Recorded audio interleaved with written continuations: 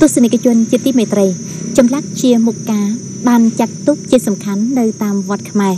បច្ចុប្បន្នចម្លាក់កំពុងតែបានចាប់អារម្មណ៍ឆ្លងតាមដំណើរការជួសជុលកសាងកុដិសាលាព្រះវិហារហេតុនោះហើយ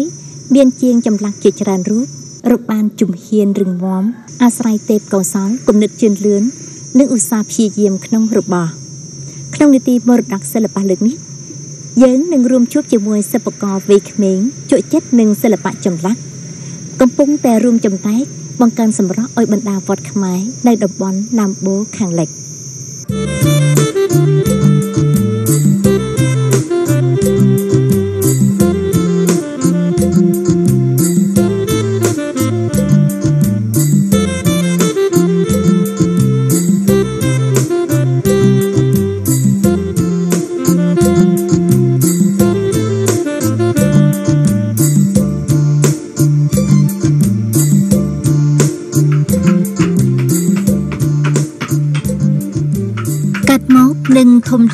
បានបួសរៀននៅវត្តកំពង់ជ្រេស្រុកចូលថាញ់ខេត្តត្រវិញគៀងកានមាននិស័យបានចិត្តដិតនឹងរៀនឆ្លាក់ឫសឈើនៅស្រុករបស់ខ្លួនតែម្ដងបណ្ដាគ្រូផ្ដួចផ្ដើមការយាននេះជាសិប្បករសឿនសុកសិប្បករថៃគូនយកអស់ពីចិត្តនៃរំទឹកទឹកចិត្តប្រសង់យុវជនច្រើនរូបរៀនរបរក្នុងនោះមានគៀងកានក្រោយពេលលាសិក្ខាបទគាត់យកចំណេះដឹងខាងចម្លាក់ ធ្វើជាអាជីពផ្ទេបង្រៀនឲ្យស្រទាប់បន្តវេននិងអនុវត្តការក្រងគិតរបស់ខ្លួន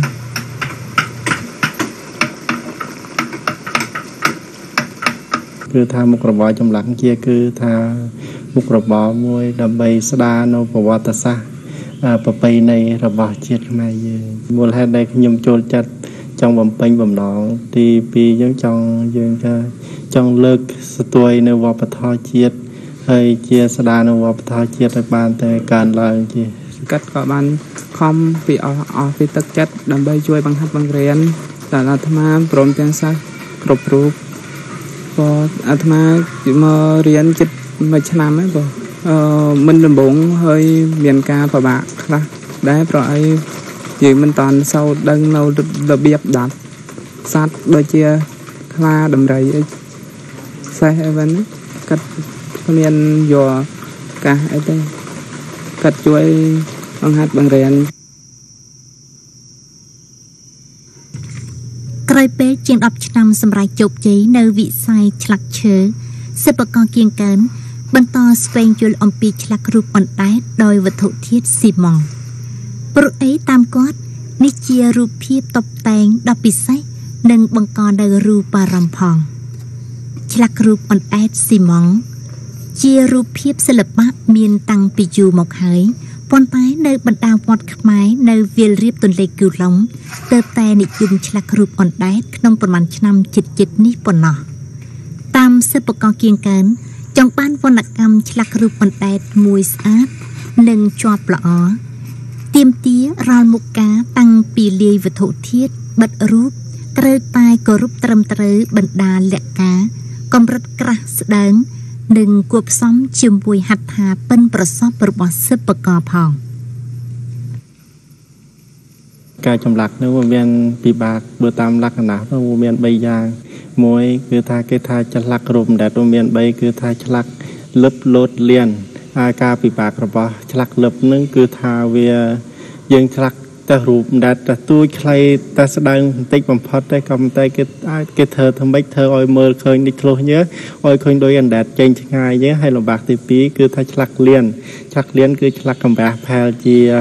ចិត្តមតាច់មតាច់ខែនឹងจะចិត្តមកផែលជាមតាច់ចឹងហើយដល់អាការឆ្លាក់នឹងបើសិនជាយើងឆ្លាក់ទៅមើលឃើញបានទេសភាពទៅបានឆ្ងាយនោះជាការលំបាក ហើយដល់ចំពោះឆ្លាក់លៀននោះគឺថាលៀននោះចេញទាំងអស់ចេញ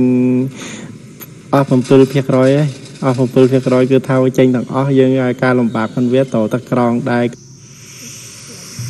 ការព្រៀងក៏ពុំអាចបោះបង់បានដែរប្រសិនបើឆ្លាក់រូបអណ្ដែតស្មុគស្មាញឬនៅទីកន្លែងសំខាន់តួយ៉ាងដូចឆ្លាក់រូបអណ្ដែតសត្វហង្សនេះសិប្បករគៀងកើនត្រូវតែព្រៀងឲ្យម៉ត់ចត់មុនពេលពុតដែកធ្វើពុំតាមគំរូ ប៉ុណ្ណឹងយើងព្រៀងមិនយើងត្រូវតែគូមិនហើយគូមិនយើងត្រូវតែក្រងដែរគេបានយកដោះចាប់បានឆ្លាក់ជាខាងក្រោយចម្លាក់ឆ្លាក់នឹងគឺថាឆ្លាក់វាលំបាកជាងពីប្រុសពេលអូសពេលវេលាវែងជាងព្រោះតែគូពេលវេលាឆាប់ជាងធម្មតាយើងឆ្លាក់អំពីស៊ីម៉ងហើយសំងដូចថារូបភាពដូចជាពិតប្រវត្តិជាដើមនិងទេសភាពរុក្ខជាតិព្រៃភ្នំជាដើម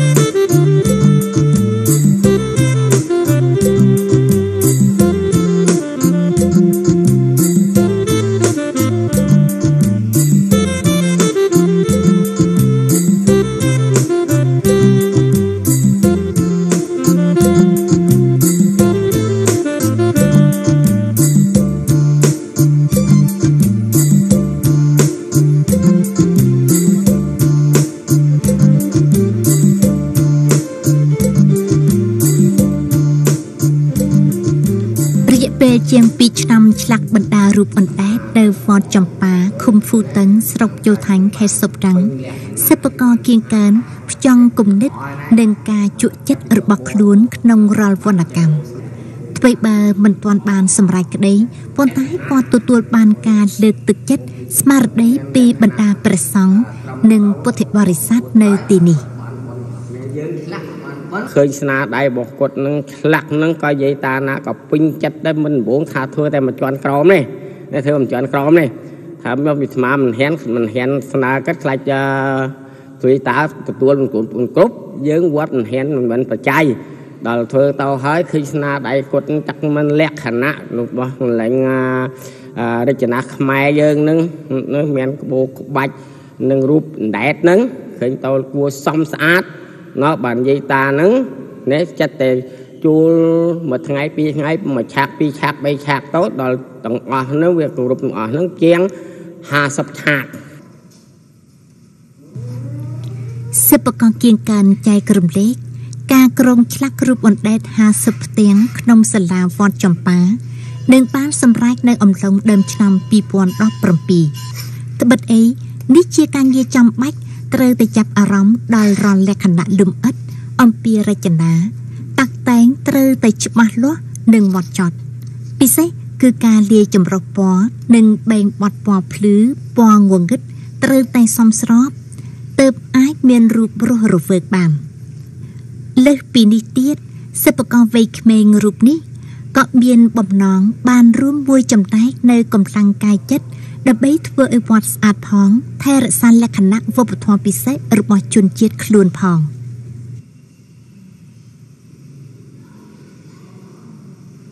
ពីប្រុសរូបចម្លាក់នឹងជាបបធរមួយសម្រាប់ជាតិយើងហើយទី2ទៀតជារបកដែលគេថាទុកជា ទុកបានរហូត ជារៀងតារាទុកបានរហូតអញ្ចឹងណាខ្ញុំគិតថាខ្ញុំនឹងប្រម៉ែប្រមូលបងប្អូនព្រមទាំងដូចជាមានលោកដូចជាសមណស័ក្តិព្រមទាំងក្មេងៗ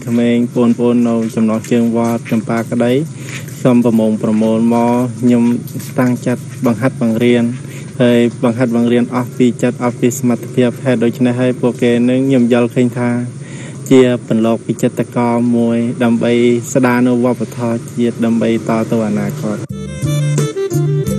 ក្រោយពីមួយថ្ងៃធ្វើការលឿយហត់ជាងកើនតែងតែរកមួយជ្រុងសម្រាប់ខ្លួនលំហែអារម្មណ៍ហើយទិដ្ឋភាពធម្មជាតិក៏ជាទីកន្លែងសម្រាប់គាត់ស្រាវជ្រាវ បំពេញបន្ថែមឲ្យរាល់វណ្ណកម្មរបស់ខ្លួនដែររយៈពេលជាង13ឆ្នាំទៅតាមវិស័យវិចិត្រកម្មគា ត់លិតដំបំពេញគំនូរចម្លាក់ឥតឈប់ឈរដើម្បីឲ្យធ្វើឯរបររឹងមាំថែមទៀតយើងជឿជាក់ថាជាមួយចរិតព្យាយាមនិងការជក់ចិត្តសិល្បៈវិស័យចម្លាក់ឈើឆ្លាក់រូបអណ្ដែតនឹងកាន់តែអភិវឌ្ឍចីរភាពរួមចំណែកបង្កើនសម្រស់ឲ្យវត្តខ្មែរនៅណាមបូ